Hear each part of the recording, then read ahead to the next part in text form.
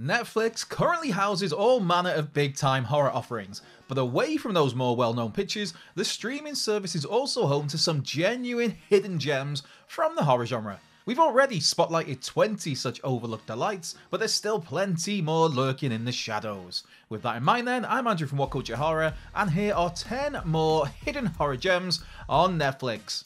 Number 10 Vampires vs. the Bronx.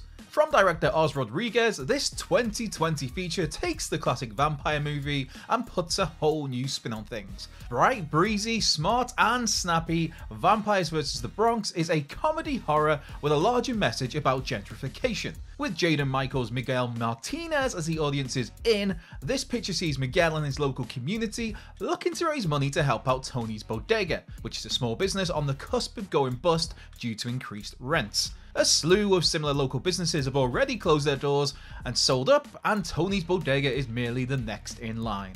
It's soon revealed how vampires, though, have moved into the Bronx and plan to use these vacated buildings as nests where they can keep their coffins. From there, Miguel and his pals watch Blade, do some online research, and make notes on all of the classic ways to fight these bloodsuckers and save their community.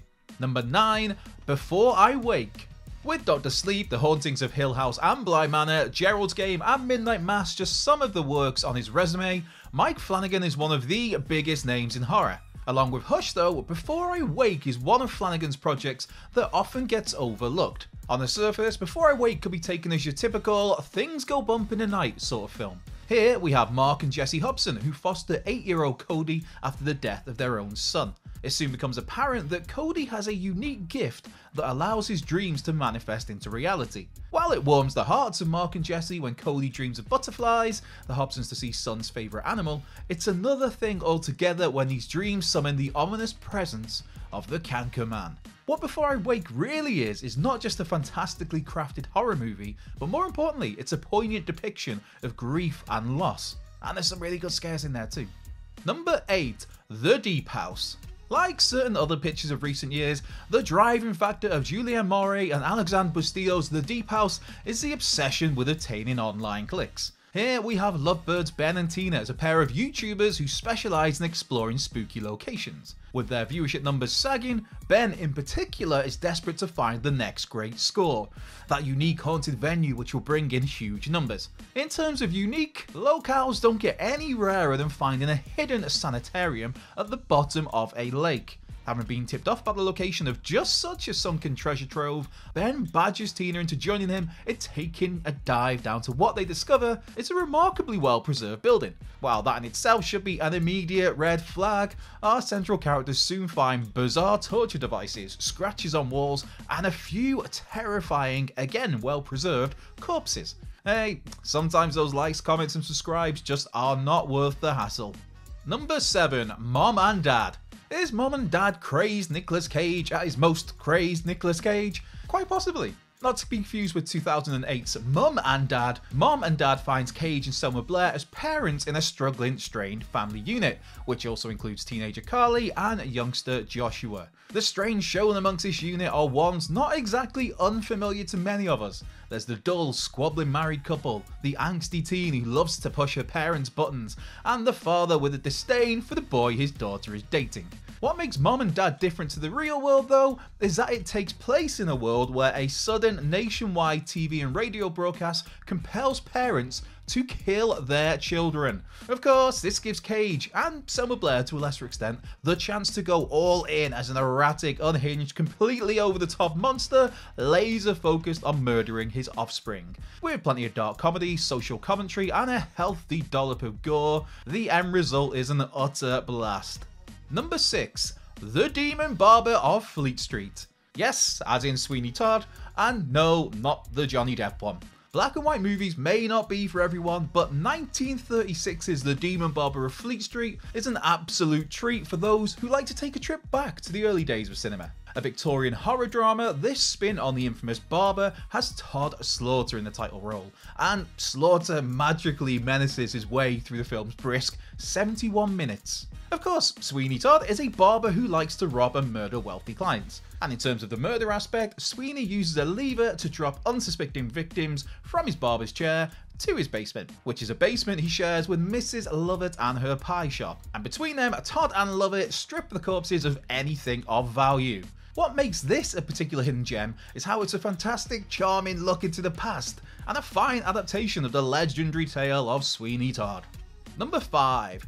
I Came By. I Came By initially centres on pals Toby and Jay, a couple of early 20s graffiti artists who like to target the homes of the rich and the corrupt. The relationship between these two friends though becomes strained when Jay's partner becomes pregnant. Opting to hang up his spray can so that he can devote his attention to the prospect of fatherhood, Jay's wish for a quiet life is one that's not matched by Toby as shown by Toby deciding to go solo in targeting the house of a former judge, Sir Hector Blake. Having discovered an abducted man in this judge's basement, Toby is desperate to convince Jay and the police that something sinister is unfolding at the Blake residence.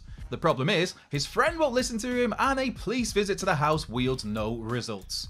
Avoiding any further plot points here, Hugh Bonneville, who's more known for lighter, cheerier roles in the likes of Downton Abbey and the Paddington movies, is phenomenal as Hector Blake in a role that very much goes against what one might expect from the Golden Globe and Emmy Award nominated actor. Number 4, 47 Meters Down.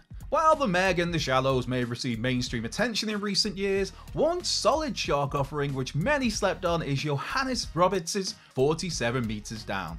This 2017 picture finds sisters Kate and Lisa embarking on a cage dive while vacationing in Mexico. That dive goes awry when the cable attaching the cage to its boat becomes loose and thus our siblings find themselves stuck in a shark cage on the ocean floor 47 meters down. Having lost radio contact with the surface and with their oxygen slowly running out, Kate and Lisa are left with quite the pickle as they become swarmed by great white sharks. Do they sit tight and wait for help and risk running out of air, or do they attempt to swim to the surface and take their chances with the sharks? This 47 metres down up there with a Jaws or a Reef in terms of the all-time greats of the shark subgenre? Likely not, but that doesn't stop this shark feature from being a hugely effective tense tale that deserves to reach a wider audience. Number 3. We have a ghost.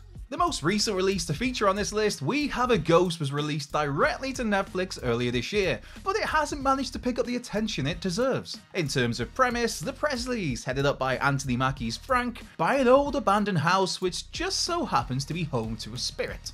Rather than the sort of presences seen in Poltergeist or Paranormal Activity, this ghost is more in line with Casper, as in he's a friendly fella who they name Ernest. Upon discovering Ernest, young Kevin Presley is keen to trace the Spectre's story and help him find peace. While Frank, well, Frank's more concerned about using Ernest to garner YouTube clicks and making his family famous. While this is very much a horror film, We Have a Ghost is clearly on the lighter side, with plentiful humour and heart play in a way that makes this the sort of fright fest that's perfect for all the family. And let's face it, it doesn't always have to be about the major scares and the hardcore. Number 2. Nobody Sleeps in the Woods Tonight.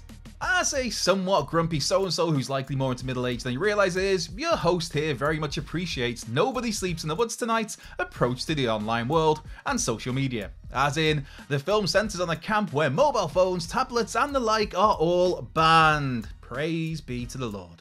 You see, this camp is designed to encourage real life human interaction and remove the reliance on staring at screens 24 7. Of course, this being a horror film, such devices being off the table makes it incredibly unfortunate when our campers find themselves in the midst of a couple of murderous mutated beings. A 2020 Polish language movie, this Bartosz M. Kowalski helmed effort is a belter, mixing classic tropes of slasher, supernatural, and creature features. Added to that, there's some great gore, some magnificent special effects works, and Julia Wieniawa puts in a phenomenal performance as our lead character Zosia. As an added bonus, Netflix also currently houses the imaginatively titled 2021 sequel, Nobody Sleeps in the Woods Tonight, Part 2. Number 1, Veronica. While Rec, which he co-wrote and co-directed, often rightly gets so much love, Paco Plaza's Veronica is a horror offering which unfortunately went under the radar upon its release in 2017. Still, some of those who have seen the picture have labelled Veronica as the scariest movie ever to be on Netflix. Of course, such a label is very much subjective, but this based on true events film is undoubtedly an unsettling, terrifying experience. In terms of those true events, Veronica is loosely based on the mysterious death of Estefania Gutierrez Lazaro in 1991. Estefania passed away at the age of 18 after suffering hallucinations and convulsions, aggressively growling and grunting at her family and friends, and having her family home stalked by eerie shadows. This all came on the back of a Ouija board the youngster and her friends had carried out. In Veronica, Sandra Escacena's titular character is the film's take on Estefania, and Veronica likewise experiences similar trauma to her real life counterpart.